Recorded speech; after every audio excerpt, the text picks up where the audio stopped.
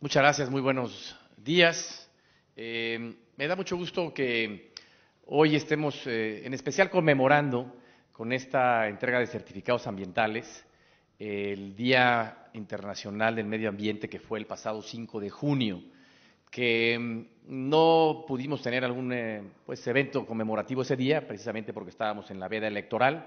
pero hoy hacemos este, esta conmemoración con la entrega de certificados ambientales y también dentro de esta Semana Estatal de Medio Ambiente para nuestra entidad. Me da mucho gusto que estemos haciendo entrega de estos certificados a empresas, a hospitales, eh, a distintos sectores que hoy eh, pues hacen conciencia de la importancia del cuidado de nuestro medio ambiente. Eh, hace un momento Mirella nos comentaba de la importancia de seguir impulsando ese tipo de políticas y hablaba tanto ella como Jorge Rescala de la pandemia y esta pandemia que tantas cosas negativas ha traído, pues también nos ha permitido darnos cuenta mucho más de lo importante que es cuidar nuestro medio ambiente. Eh, si recuerdan ustedes, sobre todo durante los meses más estrictos de confinamiento, de disminución de actividades, de movilidad, pues redujo, se redujo la contaminación atmosférica, se redujo la emisión de contaminantes a la atmósfera, pues por la disminución de actividades, de movilidad, y nos hizo nuevamente eh, más conscientes de la importancia de lo que es cuidar nuestro medio ambiente. Y después empezamos a entrar a una dinámica en donde afortunadamente hemos podido ir retomando actividades y recuperando gran, la gran mayoría prácticamente de todas las actividades. Eh, y pues empezamos a entrar nuevamente esa dinámica cotidiana. Y creo que es importante que hagamos conciencia, como lo estamos haciendo el día de hoy, de que no olvidar y dejar a un lado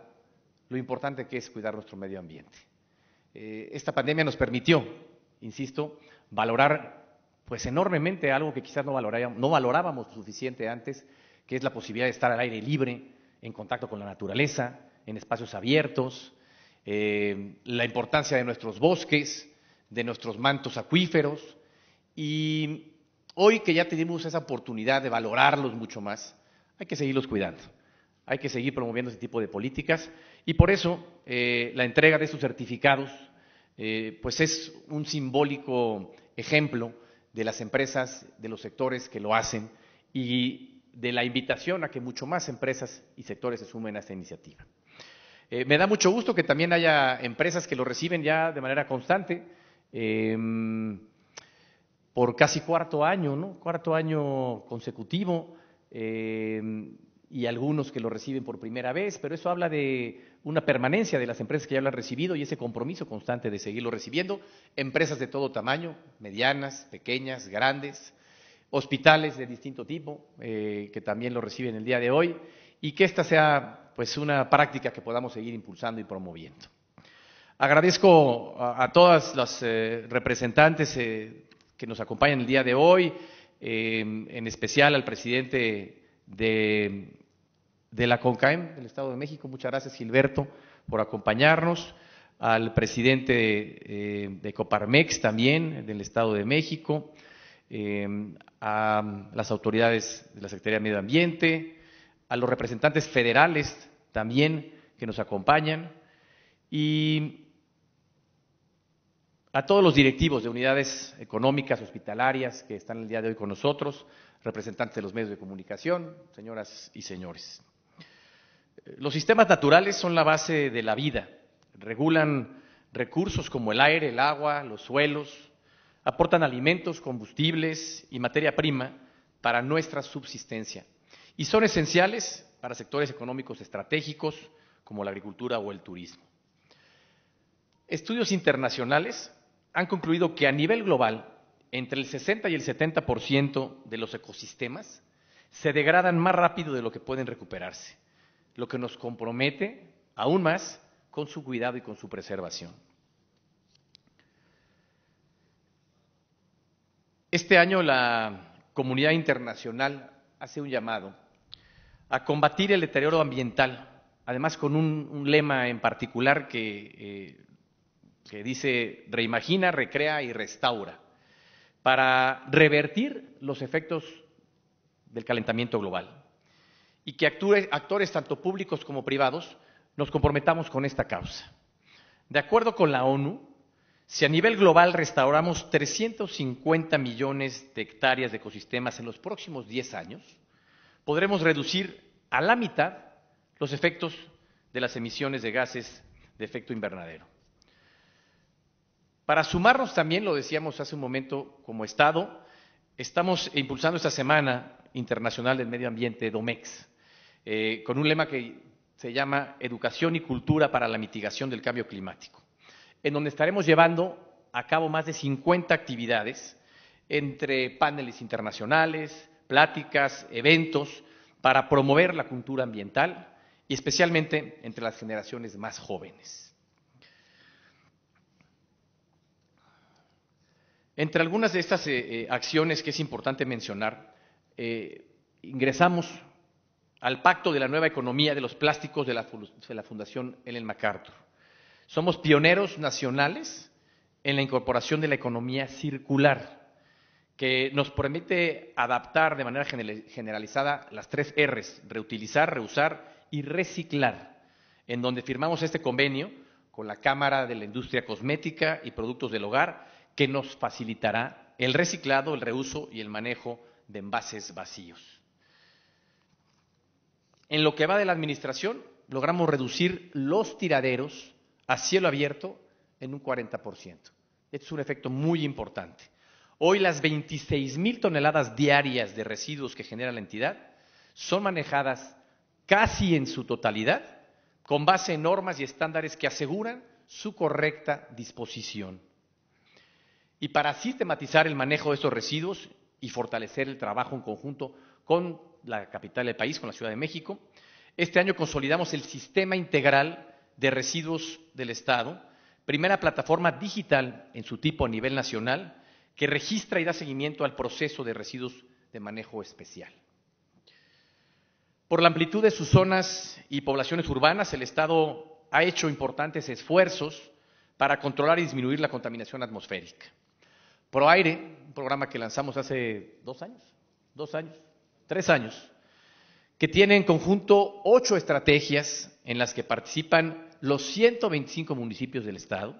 y cuyo objetivo es reducir significativamente los índices de contaminación durante los próximos 12 años con objetivos particulares, nos permitirá evaluar anualmente más de evitar, perdón, evitar anualmente más de 94 mil infecciones respiratorias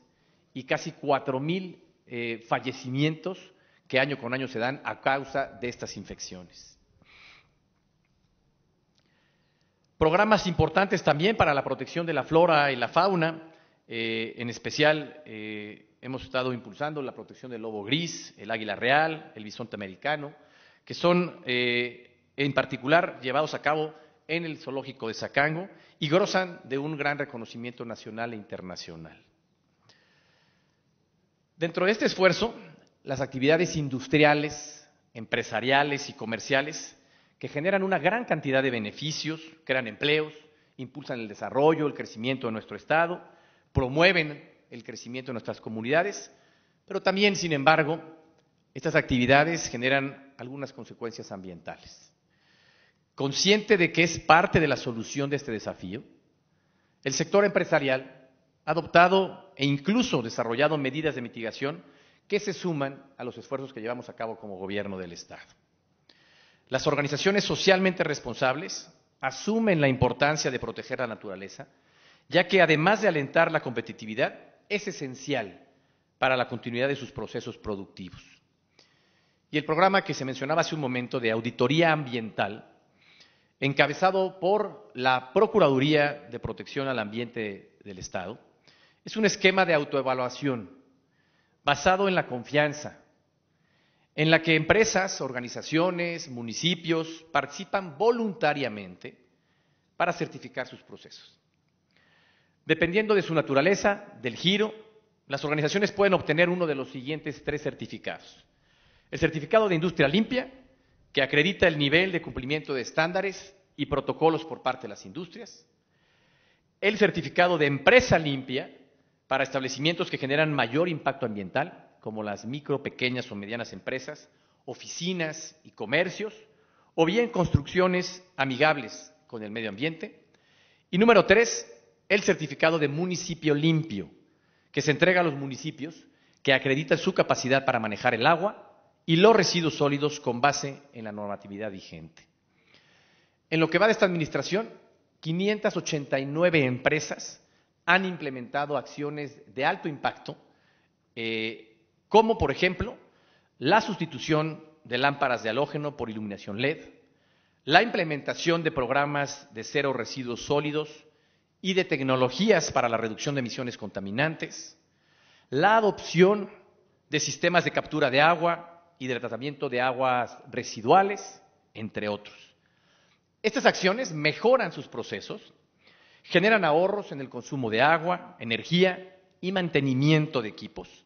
fortalecen la gestión de residuos y cumplen con las normas aplicables, lo que evita pues multas, retraso en sus actividades y sobre todo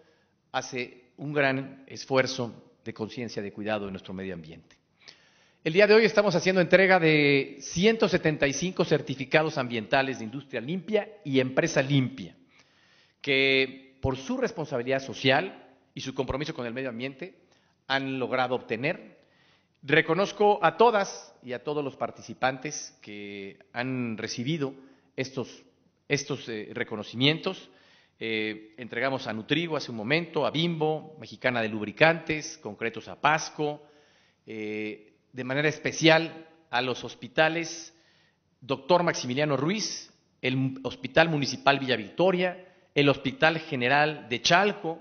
que es la segunda ocasión que entregamos este reconocimiento a los hospitales y que eh, hacen un esfuerzo muy importante por la separación de sus residuos biológicos y el manejo eh, de estos mismos, así como la eh, prevención de infecciones, el manejo responsable dentro de los mismos hospitales. Quiero hacer un reconocimiento a todas y a todos los que participan en este programa e invitar a que más empresas se sumen a esta iniciativa que impulsamos en el Gobierno del Estado. Cuidar el medio ambiente y utilizar responsablemente los recursos que nos brinda es una responsabilidad, una causa que nos une y la mejor forma de expresar cariño y respeto por una entidad como la nuestra, que es responsable con el medio ambiente y sobre todo con nuestro planeta. Muchas gracias a quienes forman parte de esta iniciativa y muchísimas felicidades. Muchas gracias.